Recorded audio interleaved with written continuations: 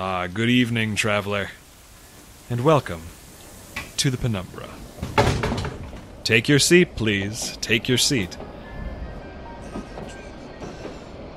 The junction lies ahead, so if you'll allow me just a moment. We are now passing through the swamp of Titan's Blooms. Our next stop the Moonlit Hermit.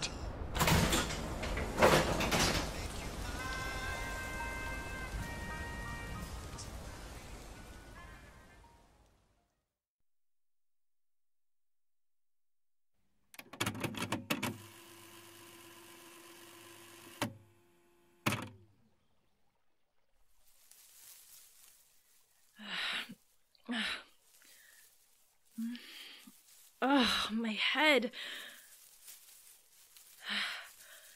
Saints, it's dark in here. Where. Where am I? Hello? Good morning, little human. Did you sleep well? Who is that? Where are you? Of course.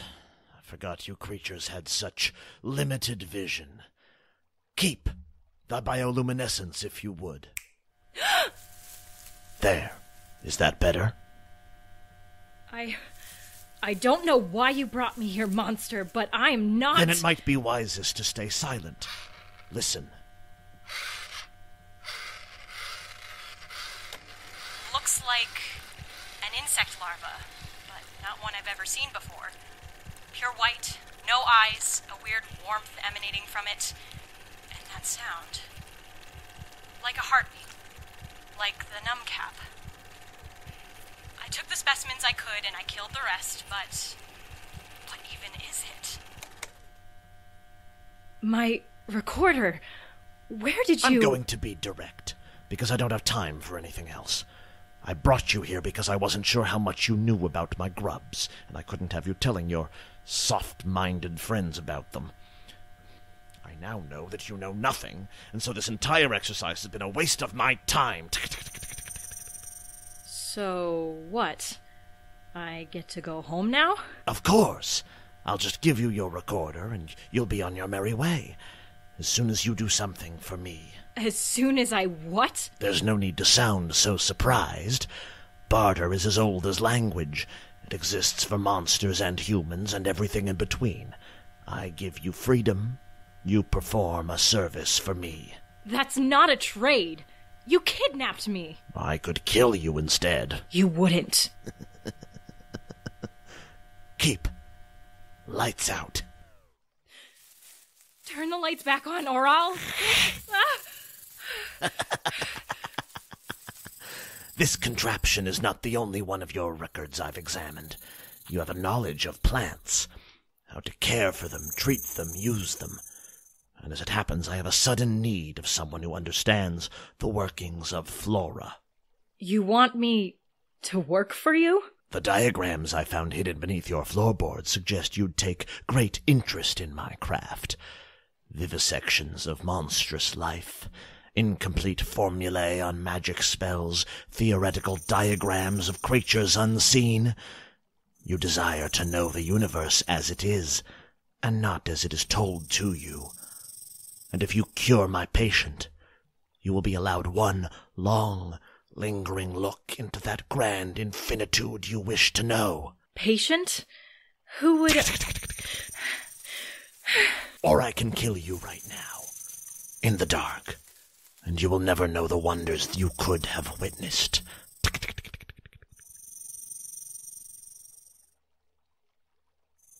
So, which will the it? first one.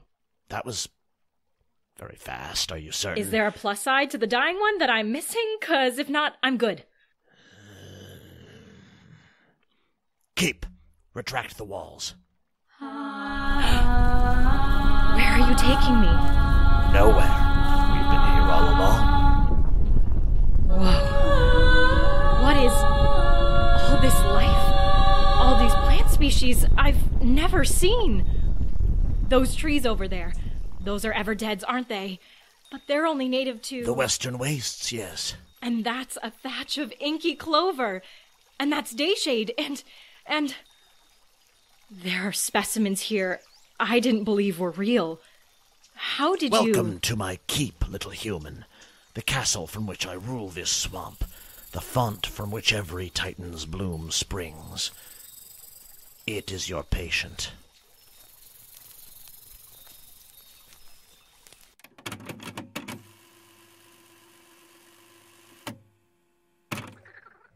Research log entry. I guess it doesn't matter. This is probably going to be the last one I ever make anyway. For whoever finds this, my name is Amaryllis of Exile. My home is the Second Citadel. And please, I need you to get this recording there as fast as you can. I don't understand it all, but I hope that this will help them prepare for what's coming. Because the things I've seen out here, the things I've been told, it's out there again. Saints, just keep it away a little longer. I don't have much time. I was escaping, trying to get out of the swamp, but my ankle. I think I broke it. And now that thing is after me, that. I don't even know what to call it. Like a monster. No worse. Because I made it. I probably don't have enough time to retell the whole story, so I'm going to piece together the recordings of what happened in the Living Keep. You should hear it for yourself anyway. So, this is my final research log, and my final subject the lizard creature that calls himself. Lord Arum, he who rules the swamp of Titan's blooms. And you, of course, are Amaryllis. How did you. Is it. Is it working? Saints, my recorder, it's really working! Mark's gonna miss this. I should wake him up. I should. But first. Hmm. Research log, entry one. I am real. No, no. Make it sound professional. I am Amaryllis of Exile, and I, along with Mark of the Craftsman's Quarter, have just invented a consistent process by which sound can be recorded. That's how. I've only had time to listen to a few of your recordings, but I know enough.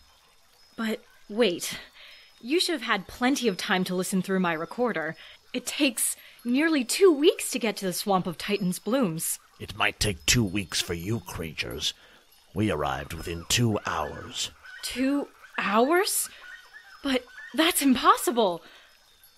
Just hold on. This is a lot. I've told you I have no time for this. My keep is sick.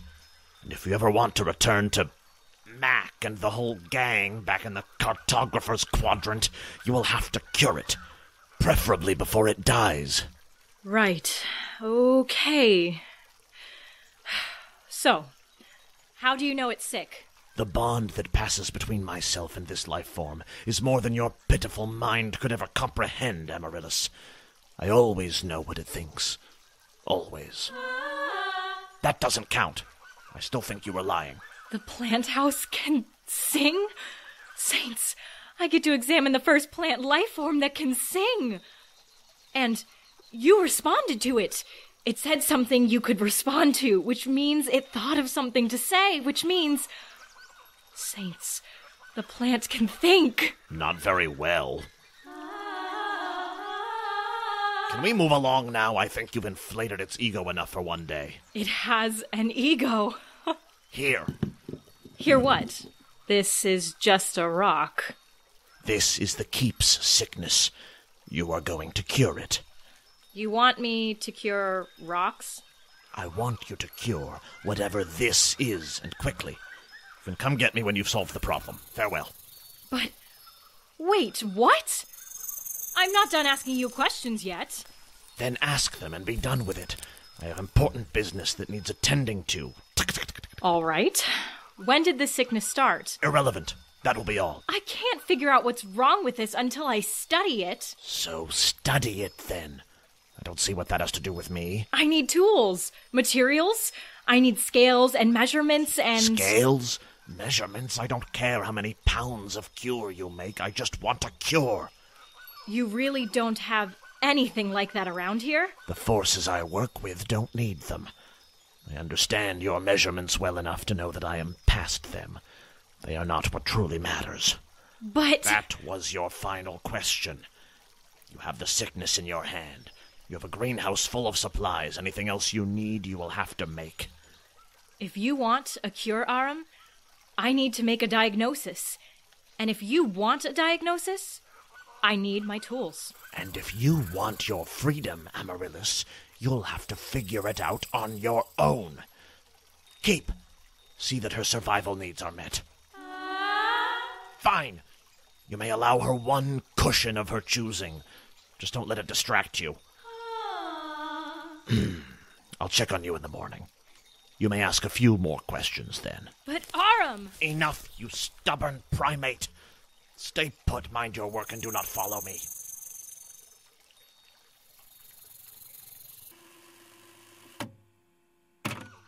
Research log entry 4227.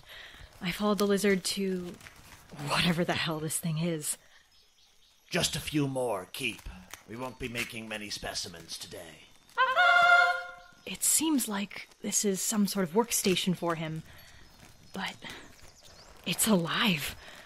A closed flower bulb as big as my hut, and vines keep coming out of the walls and feeding it weird things. A basket of dead beetles, a pile of rocks, a gourd full of pulsating liquid. No. No, it's not eating. It looks like a machine. Not like the devices Mark makes with gears and springs, but the lizard just makes small gestures and the whole thing comes to life. Now you recall the design we discussed this morning. Very good. I can't see what's happening. I'm going to try to get a closer look. Excellent. Now let's take a look at this one. There's something moving in the bulb, but I can't. Saints above. This is going to sound nuts. Rilla, you are going to sound insane. Those things it ate, they're moving. The stones are like legs. The dead beetles are all melted into one another, and they're alive. The lizard knows how to make life.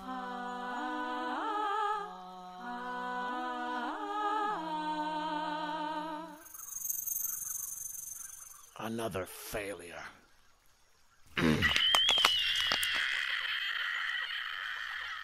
Keep. Again. Of course I mean now.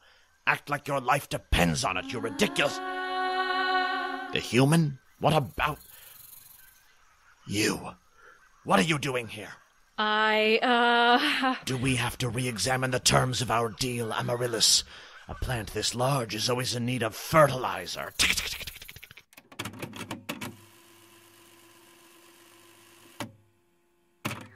Observations on the subject Lord Arum, native to the swamp of Titan's blooms. Easily annoyed, very picky about the details he cares about, completely dismissive of the details he doesn't, selfish, haughty, and, unfortunately, extremely competent. I was never going to fight my way out of here like Damien or talk my way out like Mark, and without tools, I was never going to cure his keep sickness. But I was the best researcher in the Citadel. I'd found a thousand cures before. Why not a cure for kidnapping? Are you still there? Go! Yes, Lord Arum. After all, if this keep held things like that, things that could create life, surely it had all I needed to trick a lizard into setting me free. And if I gathered some data that might unlock new boundaries in future research along the way, I mean, that wouldn't be a bad thing, right? So I pretended to work on his cure while I took inventory of what Arum had in his greenhouse. It should have taken one day. It took me eight. Because Arum's organization system, or his lack of a system, or. Listen, I've dealt with bad organizers before. Mark once told me, to my face, that he kept all his springs in the right hand drawer because on the day he got them, he was feeling right. But I could deal with that. Because even if Mark was the only person who could decode his system, at least he had a code. And that meant some sense was being made somewhere for someone. But Arum? He had nothing. He had less than nothing. He had negative organization. If you need orchids, go find them. That's not what I asked. I asked where they are. The orchids live where they like, obviously. Am I supposed to count and place every seed? Kind of, yeah. You really just mix all the plants around? Even the weeds? Have you ever tried telling a weed it has to move? They can't talk, you know. No, I don't talk to it. I just kind of move it. And put up with all that whining? Ugh. They can't talk, but they can whine? I just. It would make me more effective if you knew where, generally, your specimens are. And all that effort for what? I don't know, so you could find them more easily, all in one place instead of spread out across the greenhouse? Ridiculous. We will never speak of this again. You want an inventory? As in a list? Yes, as in. it doesn't even have to be written down. I'll take anything at this point. And so you expect me to keep a list of all I've ever made? Those projects are all finished, whether successes or failures. Sure, but if you kept track of what made the successes work, you could keep having successes. Oh, so now you think you can predict the future, do you? No, obviously. But if we can figure out the rules that the future operates on, the mathematical and physical and chemical laws, then. Then you may be queen in your tiny sandbox of what's understood, while I dance among the stars of the impossible. of course, I know these mathematical laws. we invented them long before you. And then some of us, the ambitious ones, moved on. Because in order for something to be measurable, it must be small enough to measure. And some of us want more. And he kept doing that, hand waving at some huge more without ever explaining what he meant. I could see some of it in action plants and animals and fungi that moved in ways that shouldn't have been possible. Do not be tempted to approach their fronds even when they molt. When serrated palms feel threatened, they become sharp enough to cut through solid rock. The name is a misnomer. It doesn't walk so much as kick. The locomotion is an afterthought for the walking bonsai. Excellent reflexes. The macrachnids may look frightening, but they're quite docile if fed appropriately. Which is to say, not at all. No matter how much they beg. Don't. And that big plant that made life? That hermit? I had to know what that was. I had my theories and they were killing me because. We'll get to that soon, I guess.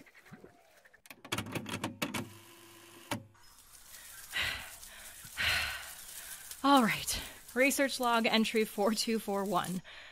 I think I found some more of the illness on the keep's walls, right by the tops of these cacao trees. Taking samples now. It's hard, but brittle. Colors ranging from white to light gray. On the inside, there are striations that could be. Uh, like the lines inside some gems. Like diamonds? Or. Wow, I really don't care about rocks. But. Hang on. These ones look almost like tree rings. Petrified wood, maybe? But crustier, flakier, with this gummy white stuff on the inside, like, uh, bad skin. This would be a lot easier if I ever listened when Angelo was talking. Rocks and skincare. This is maybe the only patient out there he'd have a better shot at curing than me.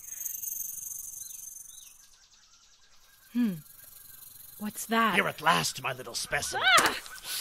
Amaryllis.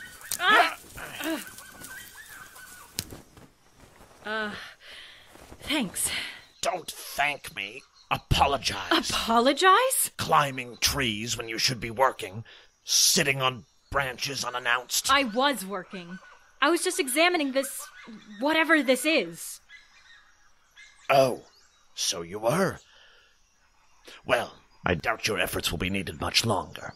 You see, I think I have found the path to the cure myself. You. Really? Indeed. A great accomplishment. Would you like a demonstration, Amaryllis? Subject Lord Arum. Input The opportunity to show a successful creation. Observations Widening of the eyes. Shortened breath.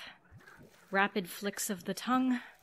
Suggesting both increased temperature and heightened pulse. Then he seemed to notice it on himself, and the old Arum was back.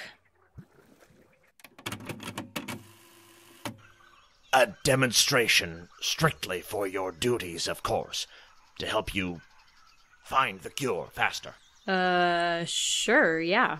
I'll watch. Excellent. Look closely. I am certain this is something you have never seen before. You don't know. Saints! What is that thing? Did it come out from that. from that. The hermit, yes. Observant, aren't you? The thorax resembles a centipede's, but the head. Is that a crow's beak? No, it is this creature's beak. Currently.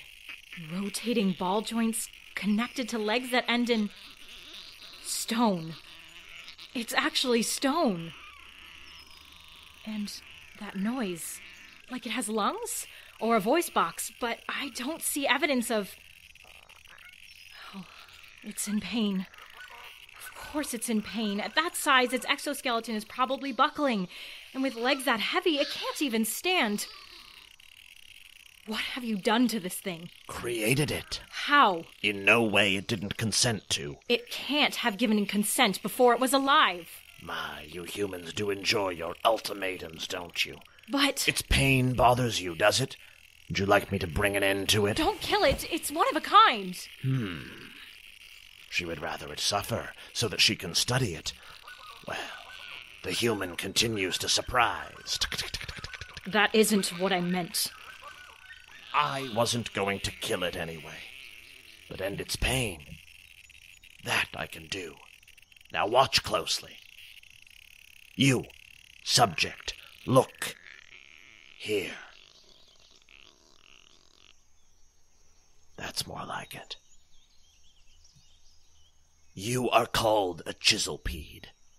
You have been created within the universe, wherein there is a place called the Swamp of Titan's Blooms, wherein there is a lord called Arum. I am he. As my creation, and the creation of this swamp, you exist as a level among levels, and you will listen to the levels closest to you, and you will trust that they understand the larger picture better than yourself. That means you will ignore things outside your purview, such as physical laws, which are the business of the universe. You will trust me to inform you what is possible and what is not. Is that understood? Good. Now, rise. What? It is precisely as you see it. It shouldn't be able to stand. It's physically impossible. And yet, it stands. Here, Chiselpede. You see this sickness, this blight? I need samples of it. You are to gather them and bring them to the source from which you were born. Is that understood? Good. Now I think we've taken enough of this creature's time. Off you go now. What was that?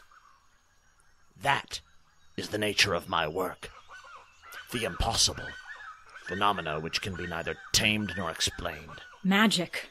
In a word, yes. Those will be all of your questions for today. Farewell. But wait!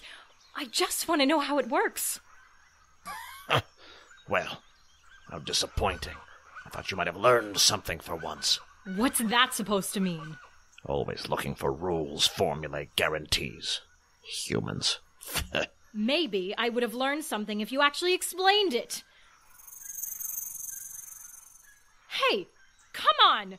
You're gonna magically bring that thing to life, and you aren't even gonna tell me how you. So, I gained three things from that meeting a bigger sample of the disease, a sense of what Arum could do, and a deadline that was closing in fast. Because if he'd only agreed to let me go if I cured the keep, what were the odds I'd get to leave if he cured it? I tested my first formula an hour later. All right. Fake petrification cure version 1. A light acid found in the berries of the dayshade, testing to see if it softens the stone like exterior at all. Ow! Ugh. Okay, uh, that might be a little too soft. Version 4. It's been six hours of testing so far. Suitably soft, but when squeezed. Yeah, no, he's not going to buy that. Version 6. 20 hours. Painted this one green. Yep, that's a green rock. Version 11. 26 hours. Ah! And each morning, Arum still came by and still expected me to have questions. In retrospect, he looked tired too. But at the time, I was too distracted to tell. Here, some tea from the serrated palm's leaves, taken after group meditation. Don't thank me. It's solely to prove you wrong. I hope you enjoy it. You wouldn't believe the training regimen the Keep and I had to go through to tame the walking bonsais in the first place. It was worth it in the end. A great delight to prune a plant that prunes back. There. You see? Merely skittish macrachnids. They need only to know that you mean them no harm. Once you get them galloping up walls across the ceiling. Subject Lord Arum. Input Several days spent together. Observations The subject is self involved, condescending, overly nostalgic, and, if his insistence on sharing his accolades with me is any indication, he is also extremely lonely. So lonely, in fact, that I doubt he even realizes it. And none of that forgives him. It just distracted me made my research that much harder. But every project has challenges, and I beat those. Eventually. All right, okay, all right. This is Petrification Rilla, Cure 17? Oh, saints, I'm tired. 42 hours of this. Have to get out of here, have to. I think, I hope, that I'm onto something. The solution resembles a paste, and it's easy enough to apply with the hands. Composed of two parts green sea sap, one part acid berry, trace elements from a few other specimens, and three parts aloe. Burns like you wouldn't believe. Doesn't matter. Testing now. Ah. It doesn't hurt, at least. It's working. It works. I can go home. I really did it. It's soft and it's green, and so are my hands. Ugh, come on, Rilla. If the monster's hands look like limes when he's done, he's never going to buy it. Okay, just one more. Just one more try, and then you can sleep. So get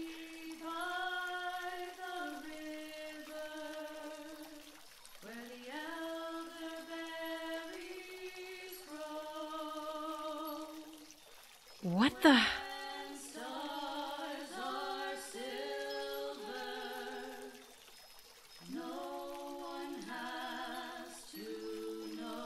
That's. I know that song, but how.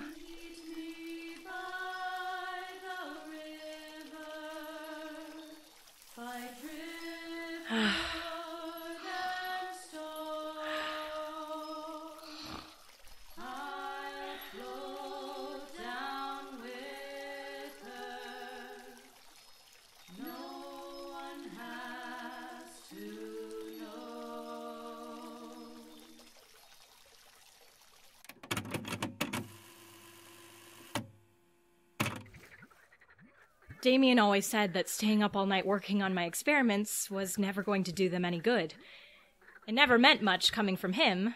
The knight famous for his five night staring contest with a blinking gorgon wasn't so generous with sleep for himself either. So I knew when he said, You'll find the answer if you sleep, my love. In rest, the saints move through us. what he meant was, I'm worried about you. Take care of yourself. I love you. But that just made me want to listen even less. I don't like being told what to do, especially by a knight. Even if I said the same thing to him when he worked too hard. Damien. Anyway, I say that only to make the point that that night, Damien was right. So, tell him that for me, I guess.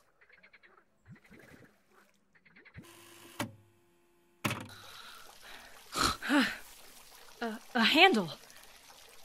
If it's applied with a brush, he'll never touch it. And he won't know it's just paint. Saints, I hope the lizard has a coffee plant somewhere in here.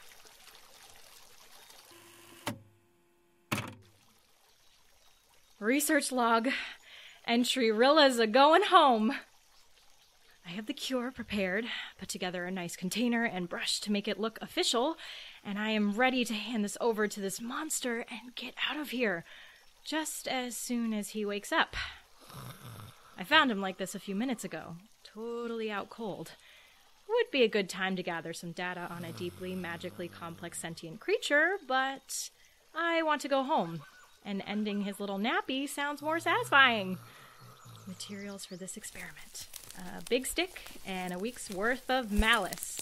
Testing now.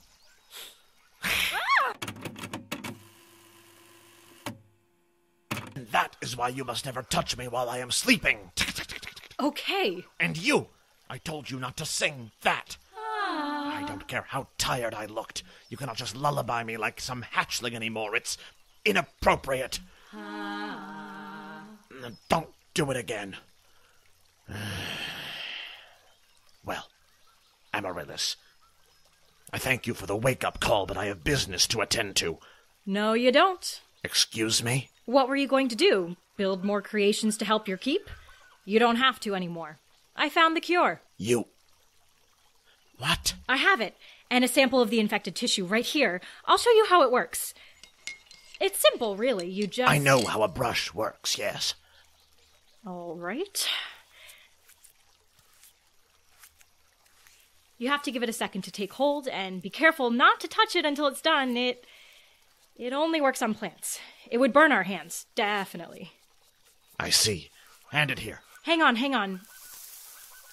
And done.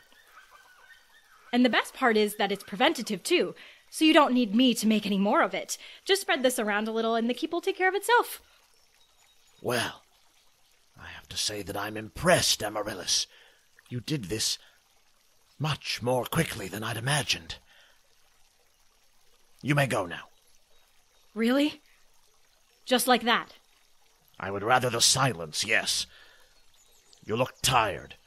Go find a soft patch and hibernate. Or pupate, or whatever it is humans do. I'd really rather pupate at home, Arum. Well, I can't just let you go that quickly, can I? I have rigorous checks I'll have to perform. I'll have to ask the keep what it thinks. You don't care what the keep thinks. There are many steps involved, Amaryllis. You'll have to wait. To wait? You want me to wait?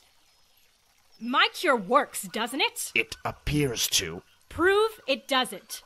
Try it on all the disease you want. This treats it. And what did you say I got if I found a treatment? You know fully well. I want to hear you say it. What was our deal, Arum? You aren't going to let me leave. You were never going to let me go, were you? Oh, and did you really expect me to? Did you really think I could? It's pretty easy, Arum. You just open the door and. And what, Amaryllis? What? Let you go back to your hive and tell all the humans what the monster is up to, where to find him, how to kill him, how many pieces to cut him into. I wouldn't. I, I don't want to. A war is on. What we want stopped being relevant the moment the first stone was thrown, no matter who threw it. But that's. not fair. It is how things work. Fair and unfair are fables, myths. They can exist only if there are stable rules that govern all action, all things, but there are no rules here. Only survival by any means necessary. I must protect myself and my keep. If you were in my position, I would expect you to do the same. I would allow you to live here, in my greenhouse as thanks. But I can give nothing else. You lied to me. All those little favors, those talks we had, you tricked me. We had a deal. What would you have me do then? Let me go. And then what? you humans. So naive, aren't you? The sun itself could descend upon your bald little bodies, but until the end you'd be standing in its rays searching for a way to change its course. Running calculations until it cremated you to the last. And you wouldn't? Die for nothing? Of course not. I would survive in the shade until every man and monster was ash, and then I would finally have peace. Farewell, human. Be sure to test your cure right away. No! You don't get to take that if I don't get to. Ugh! Get back here, you. you monster! I was so angry with him that it took me a while to remember that the cure I'd given him was bogus. And that meant I didn't have time to wallow. By the next morning, Arum would know I'd tricked him. So, by the next morning, I'd probably be dead.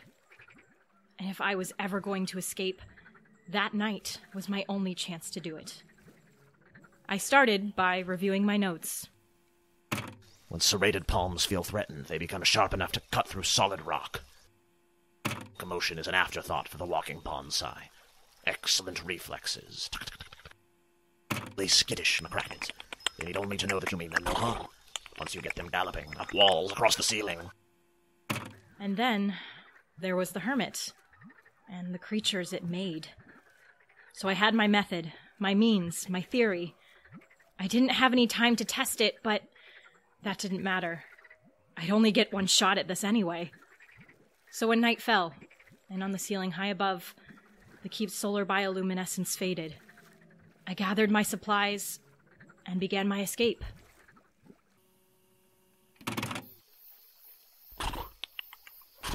Shh, shh, it's okay. You're going to be okay. It's just a plant. It's not going to hurt you. It's not going to hurt you.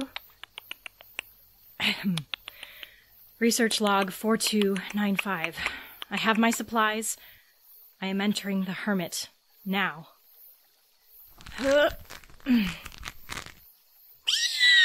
Shh, come on. It can't. No way. I would like to correct my previous assumption. The big flower bulb is not the hermit. This is the moonlit hermit. Shh.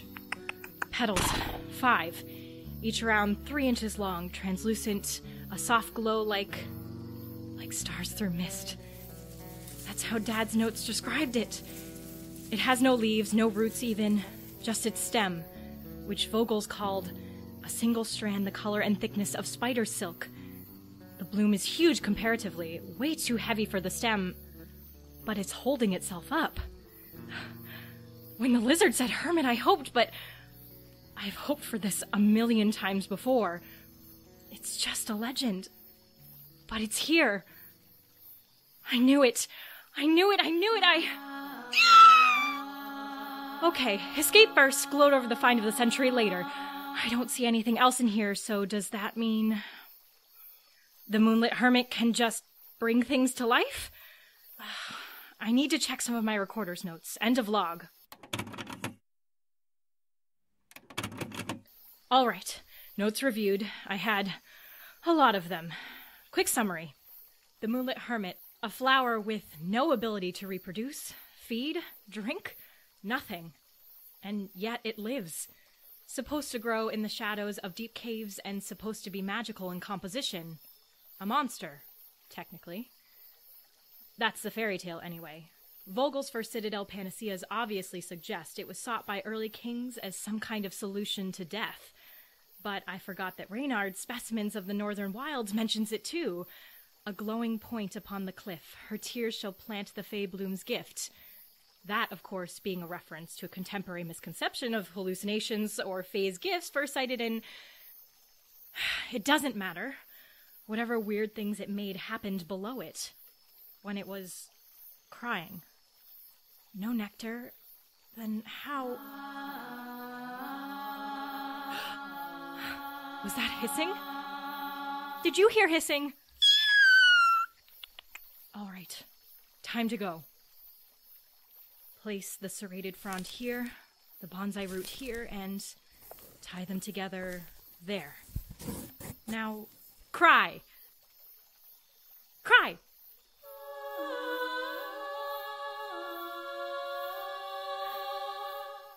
Okay, uh, gotta think like the impossible singing castle. Make you cry. How do I make you cry? What is all that racket? Okay, sad story. Uh, once upon a time, there was a uh, little girl, and she had these two parents who were doctors, and they helped people a lot. Only one day it turned out the doctors weren't doctors so much as witches, and magic was super mega illegal in the Citadel, and so they were exiled, which wasn't great. And the girl had to live with her friend's parents, only she didn't think it was fair. So she kept going over her parents' old notes to try and prove that they weren't magic, or at least that magic was really just super complicated medicine. Only I got caught, and they exiled me too. So I built a cool hut right outside the Citadel, and I've been waiting for them ever since but they still haven't come back, even though the new queen lifted our exiles, and I don't know if they're even alive. The end. Cry! Oh, come on, seriously, nothing? Good, great. Now the spider's dripping. Dripping. Dripping. Oh, really, you idiot. The crying's just a metaphor. Take out my canteen, a few drops to the hermit, then the components, and.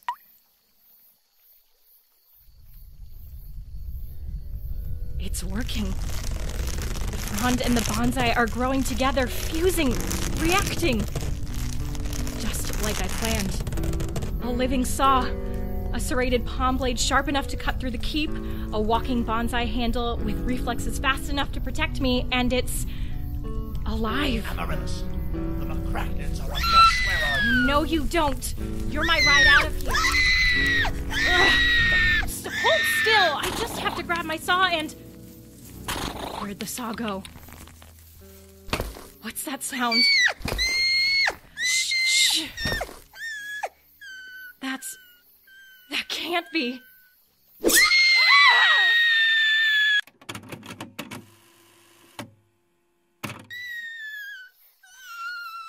Research log entry. Who cares? The saw. It's not a saw. It's. How the hell do I describe it? Like a huge inchworm, maybe? Its head is a freaking leaf sword, and its tail is a tree with a hell of a kick, and then it. It, it got the McCracknid. The poor thing still sounds alive, but just took its body. The thing's using it like a big eight fingered hand, grabbing and climbing, and. Where'd it go? Wha- what? Saints!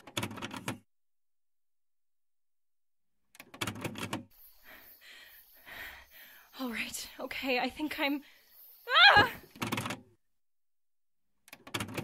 No, no, no. Listen to me. Can you listen?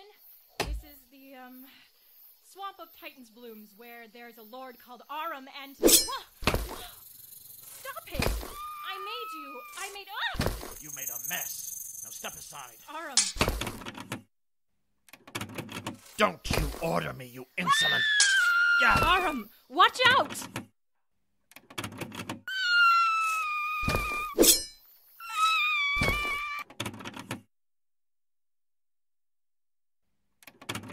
Ah.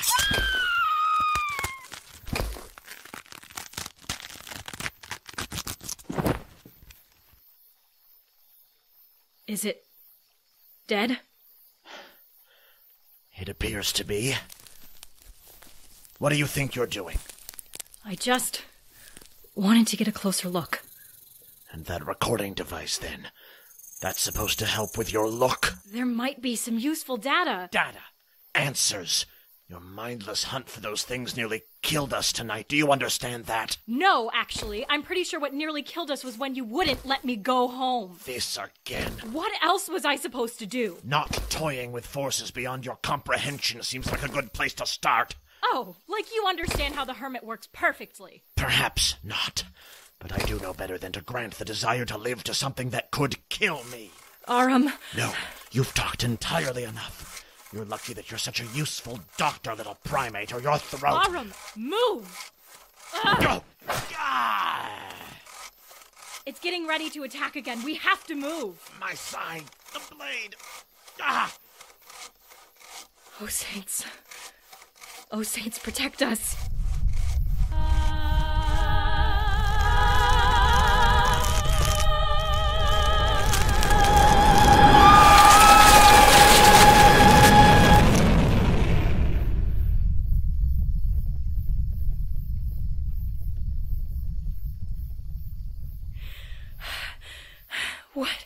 What? The?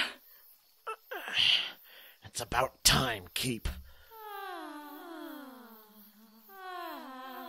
Your house can just do that? Grow a vine as thick as a tree trunk and just punch someone with it? It isn't that impressive. Help me up. Not that impressive. It blew up the hermit's cage. It shot that abomination straight through the wall. I told you that it is my duty to protect it. That duty goes in more than one direction. Now help me. Uh oh.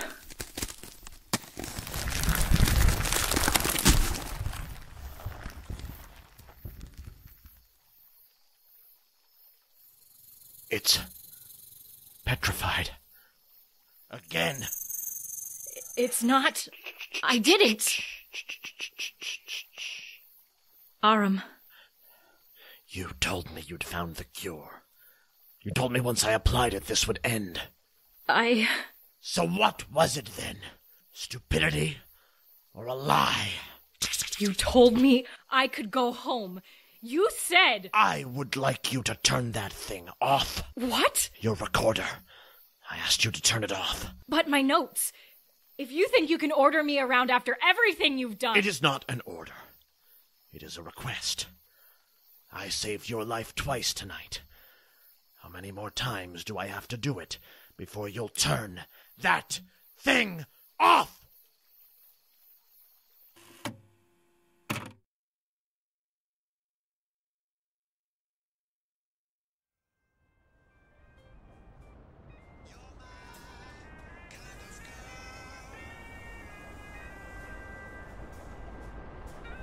If you've enjoyed this tale, please consider donating to the Penumbra on Patreon.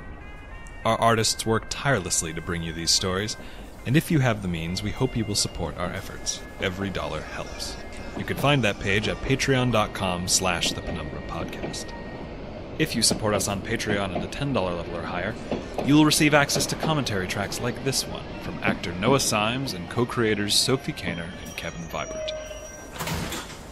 it, it has nothing to do with Damien or their fight. Right, He has right. no idea, Right. it seems, what their connection even is. Right. And it's just. I, I, I love that he. And it ha- did have to do with those grubs, and then. Even that Right, ended up being immaterial. like Right, a, a right. dead end, both in his investigation and plot wise. Yeah, that was funny for us. but yeah, it's been. How long has it been? Like when?